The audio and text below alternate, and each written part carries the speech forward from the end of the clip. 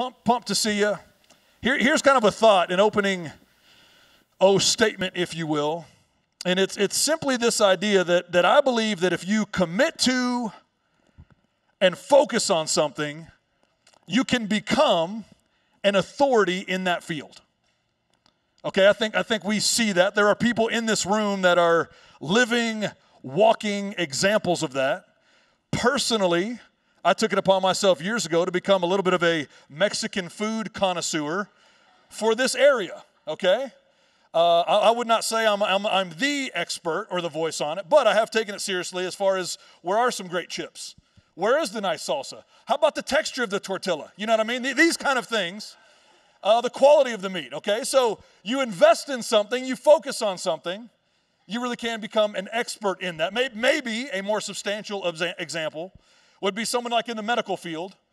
They would say, okay, I'm going to focus on this specific part of the field and become an expert. We, we have a chiropractor that's, that's in the house, Paxton, shameless plug, okay? He's great at it. He, he, is, he has become an expert. I had an experience one time, I had a toe that was hurting. I'm a couple minutes into the session, he's tapping the side of my head, and I'm thinking, Pax, there's not a chance it's gonna work. All of a sudden, I get the tingles, and I'm walking out of there like a deer galloping around, okay? So he's become an expert in that because there's been a focus placed upon it. So, so what I want to put out there tonight is I believe what all of us are called to do is to have a focus and an intent as Christians, and then we get to walk in the authority that God's given us. There's a focus that's going to be necessary to obtain the authority. And, and I'm going to I'm to give you a couple examples. There's, there's a couple people in the Bible we'll, we'll look at here but authority is going to kind of be the theme, but I want you to understand the focus necessary for us to truly walk in it. Spiritual authority is the God given right to receive and use God's power that flows from the indwelling Holy Spirit. That, that's, that's, a, that's a great working definition of, of spiritual authority. And, and what I, I know to be true, man, it, we're bragging on Pastor Bill and Sandy earlier. They know who they are. They know what they believe, and we get to hear that. We're the, we get to be the fruit of the confidence that they have in their focused study and approach to understanding God's word. So now what we get to do, man, as, as parents, that would be the hope. It's like, man, I want us to walk in God's authority and then transfer that to our kids. I love this quote. It says, His, his God's authority on earth allows us to dare to go to all the nations his authority in heaven gives us our only hope of success. And His presence with us leaves us with no other choice. Man, we, we, we get to live this audacious life because of the fact that we have an understanding of the authority that we walk in. I, I think sometimes in our democratic society, we lose a little bit of the focus or the understanding of what it would actually be to be in a kingdom physically. If, if you're the son or the daughter of a king, you walk and approach things differently because of the authority that you know you have. A lot of times that was symbolized by a ring or something. Somebody, they might not know who you are, they might not recognize your face, but they see the ring and all of a sudden the authority is understood. So they're going to walk differently, they're going to carry themselves differently, they're going to speak differently. Pastor Bill has said before, man, our words are meant for authority. What are we speaking? What are we saying? What do we know beyond a shadow of a doubt to be true so that we can walk in the authority attached to that conviction? So, so I'm going to take you in, in Matthew. So turn there if you would. We'll, we'll, we'll look at a little story here, Matthew 14, to kind of start laying some groundwork for this. Because I think if we look at it like sons and daughters of a king, that helps make sense. But I believe that too often, we're living a little bit of a distracted life that almost makes us forget what we could be walking in. There's a lot of things going on. There, there's things that present themselves. We, we could go on a rant about this social media era that we live in, all those things, but you understand that there are distractions in place and in play here that we've got to get beyond. And so, so I'm going to create a little context where we're going here. Jesus, right before what we're about to dive into, just found out that his cousin, John the Baptist, was beheaded. He basically found that terrible news out that morning. And it says he actually got on a boat and went away, but a crowd followed him. Jesus, moved with compassion, sees the crowd, does what Jesus does, and goes and starts ministering to the crowd after finding out this devastating news. Well, Jesus doing Jesus stuff, the crowd comes, you know the story. They're hungry, they've been there for a while. The disciples are like, Man, should we, should we send them to get some fast food? What, what's the plan here? And he said, Man, let's feed them. So the story of Jesus feeding the 5,000 has just happened. One of the most monumental moments in history. And now Jesus tells his disciples, He goes, Hey, get on a boat. I will catch up with you later. It's been a long day. So I'm, going to pick up the story here, Matthew 14, 24. And this is great. This, this is a fun segue back to our disciples. Meanwhile, the disciples were in trouble, right? Like they've just done all this great stuff with Jesus. He sends them away just for a little bit, and these guys go and get in some trouble, okay? They're out on the water, the waves are getting big. It says they were far away from land, for a strong wind had risen, and they were fighting heavy waves. About three o'clock in the morning, Jesus came toward them walking on the water. This is what's great about the Bible. It just kind of says it, and then we're like, wow, big deal. Okay, they're walking, Jesus walking on water. When the disciples saw him walking on the water, they were terrified, like we all would be. In their fear, they cried out, It's a ghost. That was their go to. They've been with Jesus a little while now. Actually, a year before this is when they were freaking out in the boat, and Jesus stood up and said, Peace be still. So, so Jesus is just like, consistently dominating the Sea of Galilee. Okay, this is what he does. He already told the sea to shut up a year ago, but here we are again a year later. These guys have been walking with Jesus and they're still freaking out. It's the winds are heavy. I think there's a ghost. Our pets' heads are falling off. All the stuff that the disciples are experiencing. Their reaction after seeing Jesus do all that he does, ah, oh, it's a ghost. But Jesus spoke to them at once. Don't be afraid, take courage. I am here. Another translation just says, I am. It's kind of Jesus drop the mic statement. Then Peter called to him. We can all appreciate Peter, okay? Just a second ago, we thought it was a ghost. I'm going to make a bold move here. Peter says, Lord, if it's really you, tell me to come to you, walking on the water. I don't know. This, this gives us like a little inclination into Peter's head, right? Like, instead of being like, hey, let's do our secret handshake. Hey, what's one thing nobody else knows about me? Like, for, for like a proof of person. Peter's thought process is, man, if it's really you, I don't know. Why don't we walk on some water? Right? This, this is where Peter goes with it. This is, this is his idea for proof of Jesus. And so, so you know what it says? Jesus says, Yes, come, Peter. Pretty good idea. You're crazy, but I, I like it. Jesus said, so, so Peter went over to the side of the boat and walked on the water toward Jesus. But when he saw the strong wind and waves, he was terrified and began to sink and yelled, Save me, Lord. Jesus immediately reached out and grabbed him. You have so little faith. Why did you doubt me? When they climbed back in the boat, the wind stopped, the disciples worshiped him and said, You really are the Son of God. It takes a lot to impress these guys, right? Like, okay, now, today, all these years later, now, you know what? You really are. Peter almost died. You really are the Son of God. Okay, I appreciate you grabbing him. But, but this is an interesting moment, kind of in, in, the, in the history of things. All that build up, cousin's been beheaded, we fed 5,000 people, Jesus walking on the water. Peter says, hey, listen, to, to prove this right now, what I'm, what I'm asking of you, I want to walk on some water. And Jesus says, yes. And in that moment, Jesus' authority overwhelms or overtakes physical boundaries. The, the physics of this doesn't make sense. None of us have ever walked on water. Some of you may, some of you might. But the reality is, in this moment, no one ever has. And Jesus says, I want to prove my authority right here, right now. Peter, come to me. But it's amazing what transpires after that. Peter kind of loses his faith. Peter gets distracted. Peter loses his focus. Man, when, when, when our focus is tight, when our focus is right, man, the distractions and the weaknesses get a lot smaller. What we focus on will get larger.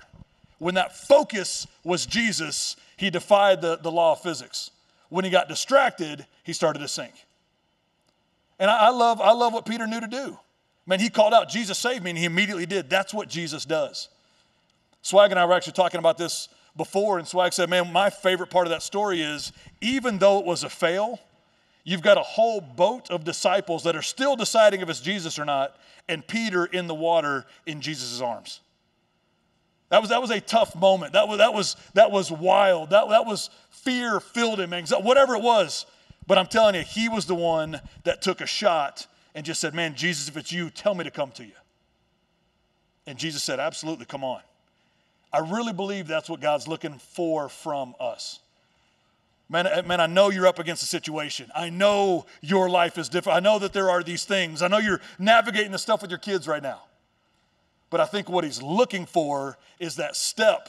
It might be impossible, other people might disagree. But will you take a step and will you let your focus be on me so that I can activate authority in your life? His focus on Jesus activated the authority in Peter's life to defy physics. We got to determine oftentimes, man, does our best option lie in the storm tossed waves where Jesus is or the safety and security of what we currently know? I think that starts to get into the why of us tapping into this authority, this supernatural ability that is ours to have.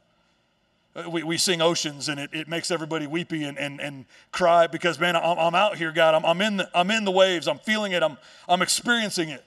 But I'd rather be here with a chance to connect with you than I would be back in this position of safety. Every single step that Peter took was getting him further from the safety of the boat. Every single step he took was another literal step of faith, hoping that he wouldn't die and drown. Every moment of that situation was this faith filled moment. And even in that, man got a little bit distracted. And I, I, I want to challenge us tonight.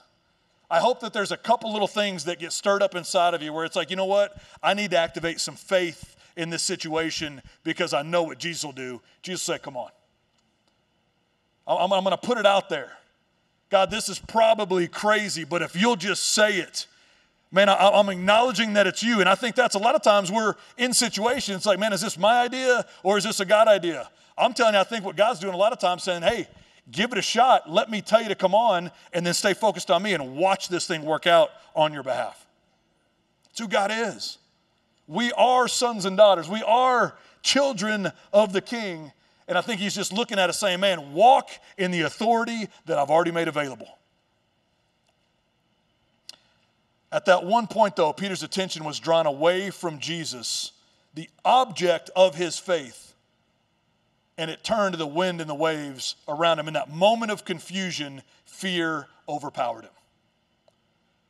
Man, what, what we're going to be is we're going to get so built up in the Word, we're going to be so confident in who God is, even when the diagnosis comes, we know how to respond to it. I'm not going to let that diagnosis create confusion because I know the truth. I'm not going to let that bad situation, I'm not going to let that person that says something about me change my perspective of the authority that I know I get to walk in. It is never going to be God's will for us to be overwhelmed or defeated. We know that going into it. If we're sure of that, if we're convinced of that, then it keeps things in its proper place we keep our focus on God and recognize our authority. See, here's what's interesting the power of Jesus in that situation didn't change, Peter changed. I need to, we got to grab this one. That Jesus' power in that moment never changed. The authority was always there, it was always available to Peter. Peter in this situation is what changed. And, and, see, you might think about a situation in your life where it's like, well, man, where was God? I'm telling you, God was there. God is there. What was the distraction or what was that moment that got our focus off of God? We, we took the kids on a trip a month ago, floating down the river, living the dream, saw that a storm was going to come, so we actually did a shorter float on purpose because we knew a storm was coming. So we thought, you know what, let's just give them the float experience. A lot of giggles, We'll see some great things. It's really cold. We'll be in there. It'll be awesome. And then we'll get out right before the storm. We'll time it perfectly. We'll go eat a warm meal, okay? We missed it by about five minutes, okay? Great plan, great idea. Uh, we are literally can like see where we're supposed to get out. And I'm telling you, like a terrible movie, the sky turns black, the wind kicks up, and it just starts dumping rain. It's like there's no way that all just happened so quickly. We can see where we're trying to go. We've got kids in the water because we're having such a good time, and they're going to gently swim to the, to, the, to, the, to the bank. And then this hellacious storm blows in in two seconds, and now it's just crazy. Chaos ensued in literally 10 seconds. The raft started spinning. I'm like, what is happening in the water? The raft is spinning around, kids are swimming, and we had a moment where we just said, hey, Everybody look at me. You have to swim to the shore or we're going to miss our get out point. A couple of the kids were not having that idea, okay? It was, Dad, I love you, but not today, okay? And so a couple of them started swimming back, which was bad because we're spinning around. Other kids are in the boat. I literally was trying to film part of it, and the guy I was with said, Hey, I need you to paddle partner. We're spinning around. So there's no proof of this. I had to set the phone down. I'm holding a kid. Brave was our son was actually he's three. He was kind of doing the paddling. I'm like, okay, I get it. We should paddle more than that. So we start paddling. Blakely, our oldest daughter, is the one that's kind of in the middle. The other kids all came back, and Blakely's kind of in no man's land. And it's like, hey, Blakely, listen to me. I can see the fear in her face. It's raining on her. We're spinning in circles. You have to swim to the shore, or we're going to miss it. Dad, Dad, Dad, swim. She puts her head down and swims, to her credit. We spin around, we pull the rest of the kids in the deal. It's nuts. We get to the bank right before we're about to miss the spot. It's pouring down rain, and it's like, you know what? This is the time to have a coaching moment. So in the rain, we have this whole like epic, you got to listen. But here's, the, here's my takeaway. One, don't have a coaching moment in the rain. Go up, get warm. Tell them what you got to teach them, okay? It's lightning striking. They're all crying. They're crying. It's raining. I don't know the difference, right? So I'm crying. It's all good. The reality, though, is if, if they, in that moment, had ears to hear and immediate obedience, it's not a situation at all. It was the hesitation, and even as a dad, even hesitation on our part, but to them, it's like, hey, here's what needs to happen so that we can get out of here safely. I need you to do it now. The swimming back and forth, the pausing, the waiting almost made a bad situation for everybody. And so I think sometimes, and I think Coach Bush actually said this, he said a lot of times delayed obedience equals disobedience. There's, there's some power to that, but it's like, okay, man, Peter hesitated. Peter got distracted. Peter's, Peter's looking at these things, and all of a sudden, what could have been the greatest moment of all time. So, you guys remember when Peter effortlessly just trusted Jesus and walked in the water, and it was amazing? It could have been that. Remember that float trip where it started raining, but it was no big deal? We all just swam to the shore? Now it's this big crazy event, and they doubt dad for the rest of their lives. And, and we fixed that, okay? We had a coaching meeting in the rain and fixed it. But the, the delay, and I just I think about that for us. Man, what part of your life right now you're like, you know what, I think, I think God's telling me to do that. I'm just gonna, might need to wait it out a little bit. I probably need to ask a few more people their opinion about it. I, I you know what, then I, it, and listen, I'm all about wise counsel, but the reality is if God's telling you to do something, we've got to do it. Let's not delay in it because that's what makes it a bad situation. We have authority to walk in, we have the ability to hear the voice of God, and we need to act on it, move on it, understand that we're walking in that authority, and get the results we're looking for. Turn to Ephesians 1:17. I want to I want to just kind of make the case like okay we're, we're, we're talking about this could be intrigued by the ability of this authority. So let's, let's see what Paul is trying to convince the Ephesians God's intent for us. And he, he says a couple things he's praying for, what he's believing for, for for them. He said, I pray that the Father of glory, the God of our Lord Jesus, would impart to you the riches of the spirit of wisdom and the spirit of revelation to know Him through your deepening intimacy with Him. I pray the light of God will illuminate the eyes of your imagination, flooding you with light until you experience the full revelation of the hope of His calling, the wealth of God's glorious inheritance that He finds in us as holy ones. A lot of, lot of powerful kind of one liners here. I want you to soak this last part up. I pray that you will continually experience the immeasurable greatness of God's power made available to you through faith. Then your lives will be an advertisement of this immense power as it works through you. This is the mighty power. So, if there's any doubt or wonder of like, okay, where does God land on this? What, what actually is His will for us? Man, I'm telling you, Paul is nailing it here, and he's, he's begging the Ephesians to grab a hold of it. Man, I, I think God's looking down and say, man, you, you guys in Tulsa, you, you Broken Arrow folks, you people that make up the Guts Church, man, I want you to grab a hold of this. This is the power I have intended for you. If we break it down, it's intimacy with Him, which leads to wisdom and revelation. It's an understanding of our inheritance. All these things equal authority. It's recognizing the greatness of God's power through faith. And then man, let's advertise it. Now, now, let's tell some people that need to know about it, that need a breakthrough in their life. Let's let our lives be the promotion piece for that.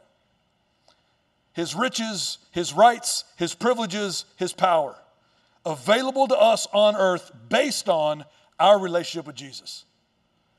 Man, this is what's been promised to us. This is what we get to walk in. This, this is what we get to take into that doctor's office. This is what we get to take into that business deal that you have tomorrow. This is what you get to take with the kid that's not connecting with you right now. This is what we get to take into our marriages that we're believing for breakthrough in. Man, this, this idea, this authority is what it is, but it's going to require our focus. God, I, I'm getting it. Man, I'm seeing what you have for me. I'm focused on it. Man, Ephesians 1:20 then goes into this mighty power was released when God raised Christ from the dead and exalted him to the place of highest honor. So now we're starting to recognize that we get to walk in authority at a resurrection level. That's us. Man, hooked up, partnered in covenant with Jesus, and that authority is at a resurrection level. And here's what's amazing about that. Man, that, that resurrection power Man, that's, that's the changing the natural order of things. That makes sense. Okay, okay, we're going to change the natural order. Death now becomes life. I like that. Man, defeat now becomes victory. Man, loss now becomes gain. Where has there been loss in your life that simply needs the, the God given authority infused into it to make it gain? Where are we experiencing death in our life? And I'm telling you, we're going to give that, we're going to focus on God, He's going to grab us. We will walk in the water, and we are going to see the opportunity in front of us to make it into life. That's who God is.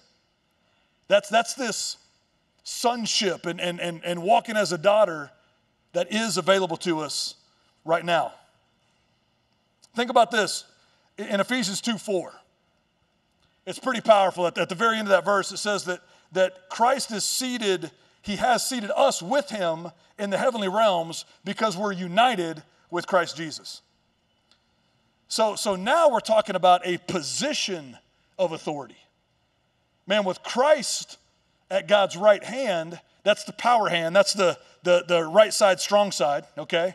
That, that's where we get to operate and live from. But the reality of that is, man, now there's a new location. So, so God can't be, Jesus' power can't be overcome because it's above everything else. But we've been seated there with Him, which gives us that same platform. See, altitude matters. You guys that, that, that work for a company, own a company, the, the, the altitude, the perspective of us as owners, us as employees, wherever you're at, that matters. If we, if we we're in here, it's okay. I can, I can kind of see what's going on in the, the seats. If we were to get up on top of the building, we've got a very different perspective. Our altitude has elevated a little bit. If we got in a helicopter, remember the, the old Easter bunny thing and guys that hang out the side? Okay, if we were in a helicopter, man, the perspective's a lot different. Now I can see city blocks. Man, you go airplane at 30,000 feet, it's a wildly different perspective. So I think sometimes in our in our companies, even in the church, man, the, the perspective of the owner is very different because they're seeing from a different altitude. Man, what I what I want us to grab here is we've been seated with Christ, our perspective changes. We get to see the big picture. We get to see the end outcome. We don't have to get so isolated in, yes, that was a bad diagnosis, but we see the big picture because of where we're seated with Christ. See, Zoom's a game changer. I can be on a Zoom call here and have a presence in Chicago.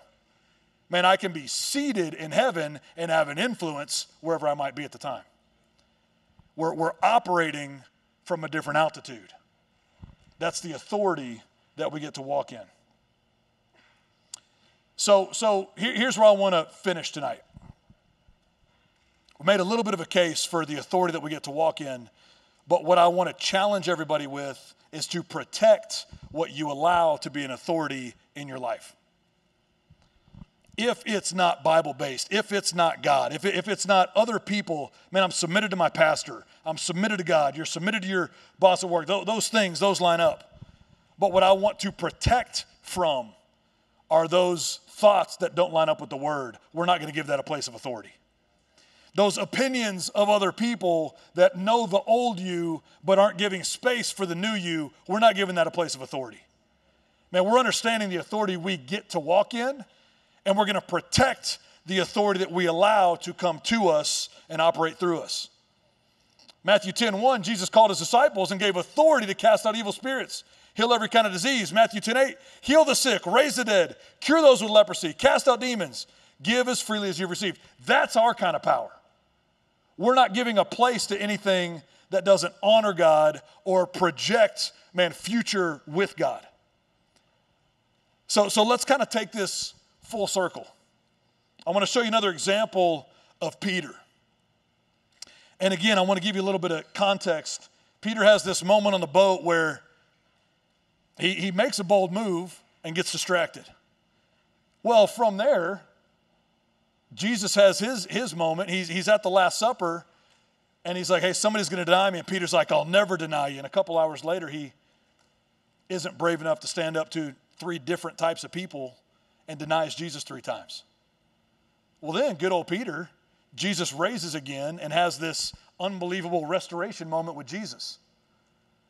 50 days from then, 50 days from when he denied Jesus, it's 50 days later that we pick up on the story that we all know in Acts, where he's walking into a, the temple at 3 o'clock in the afternoon at the gate called Beautiful. So, so Peter's kind of been on this journey. Peter's been on a journey like us.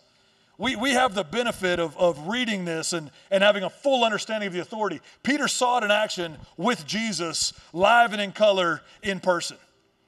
And it's been 50 days since the denial, but since then he's been filled with the Holy Spirit. So he's got an understanding, he's got a fresh revelation of the power of the Holy Spirit and what that should look like. Acts 3:1 says, Peter and John were going to the temple at the hour of prayer, three o'clock. A man who had been unable to walk from birth was being carried along, and they used to sit down every day at the gate of the temple so that he could beg alms from those entering the temple. When he saw Peter and John about to go into the temple, he began to ask them for coins. But Peter, along with John, stared at him intently and said, Look at us. See, Peter had learned a valuable lesson when he sunk in the Sea of Galilee. His attention and his focus got off of Jesus. And in that moment, he sunk. So now, after everything Peter's been through, all the wild experiences that Peter's had. He denied Jesus, and then Jesus restored him. Now he's been filled with the Holy Spirit, and he has an understanding of his authority. But he knows one thing if you are going to be healed, if you're going to be activated by this authority, you've got to look at me. I need your full, focused attention, and then Jesus can do what Jesus does. Man, I'm, I'm, I'm asking Guts Church tonight, man, can we learn? I, am asking that of myself. Man, have there been times where I've been distracted? Man, God's trying to do something great. There's a move of God, man, there's momentum, and we get distracted. And I'm telling you, if we'll give it our focused attention, I'm not getting anything. I'm gonna, I'm gonna focus on this so much that the weakness and the distraction becomes minuscule. Man, he looked at the guy. He, it said it's, they stared at him and said, Look at me. I need your full attention for this to activate inside of you. The man began to pay attention, eagerly expecting to receive something from them. See, I think the guy's probably hoping for some cash, but there was an expectation, and that's always going to be critical in this. Peter said, Silver and gold I don't have, but what I do have, I'll give you in the name, in the authority and the power of Jesus Christ of Nazareth.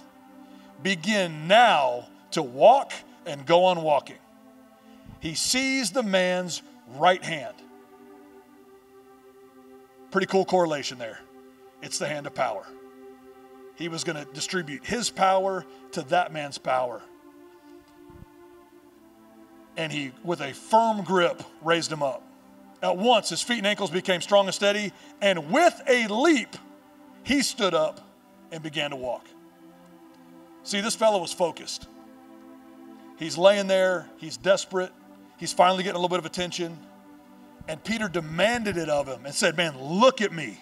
And then there was a distribution of strength from one man to another. Now it's activated. Peter says, Get up, and the man leaped. He did his part. I don't even know how to leap. I don't know what leaping feels like. I've never leapt before. But in that moment, he thought, I will do whatever I can in this moment. It says he leapt up and kept leaping. He jumps all through the synagogue, he, he jumps all around, and then people are freaking out. And now Peter, 50 days removed from denying Jesus, is walking in such a new level of authority, man, he's telling everybody about the power of God. Let me be very clear Jesus, who you crucified, is the reason this happened knowing full well he wasn't perfect in the process. My challenge to us tonight, man, let's be the men and women that are focused on God, and as a result of that, activate the authority in our lives. See, now, now we get to be authorized dealers of authority. We, we have an open account. We, we can function in that. It's ours to withdraw from. Man, I'm telling you, the power has always been there. Any, any, any time we're not tapping into or receiving the power, let's take responsibility and say, well, well, yes, my focus got off. Now it's back. And that's, that's the simple prayer I'm going to have for you tonight. Man, if you're in here tonight and it's like, listen, I'm, I, I will admit there has been some distraction. My focus hasn't been where it needs to be to activate the authority. If that's you tonight, would you just raise your hand? I'm going to get in agreement with you and let's pray for this because I'm telling you, there's authority waiting for you. Great job. Yeah, a bunch of hands. What has been distracting you? now let's get out in front of it. Let's acknowledge it and then attack it. That's how we win. That, that's how this goes from defeat to victory. Remember, we have resurrection authority, death to life loss to gain, defeat to victory. That's what's about to happen. Acknowledge the distraction. What has crept in and stole the focus? Let's get it back.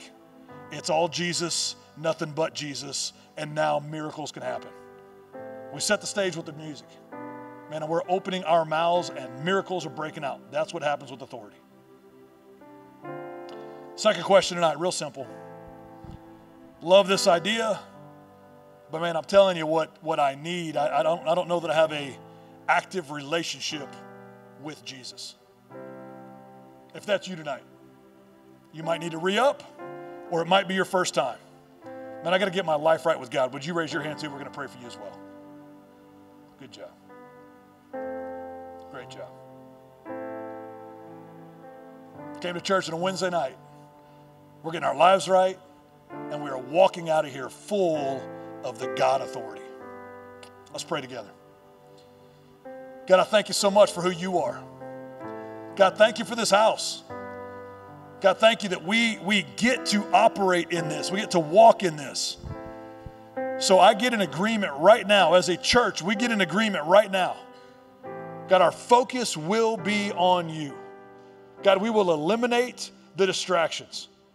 God, we're going to operate from that level, from that altitude of your authority, seated with you. God, I just thank you, God, that you give us a supernatural ability to recognize what would distract us and to eliminate it.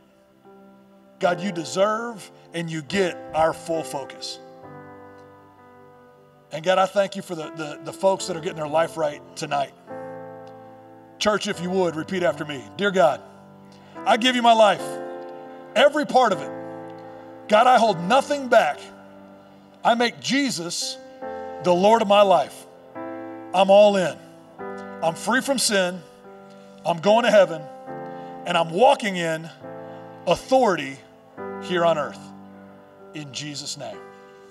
Amen. Thank you so much for tuning in to Guts Church YouTube channel. I'm Pastor Chano Trevino, the assistant pastor here at Guts Church. And on behalf of our leadership team, our staff, our church, it's our hope that this message met you right where you are. If it did, I bet there's someone you know who could use the encouragement of this message in their life. And you sharing it with them can make all the difference. The mission of Guts Church is to help people win. And you can be a part of that simply by sharing, or better yet, inviting someone to tune into Guts Church online with you every week. Take that next step to be a part of what God is doing right now in this moment in time by being committed to showing up, placing a premium on God's word, and receiving all that God has for you. You can share this message, gather your friends for services, make it a priority to make this the place you want to be. God has so much for you. I truly believe that. We love you. We're praying for you. Can't wait to see you soon.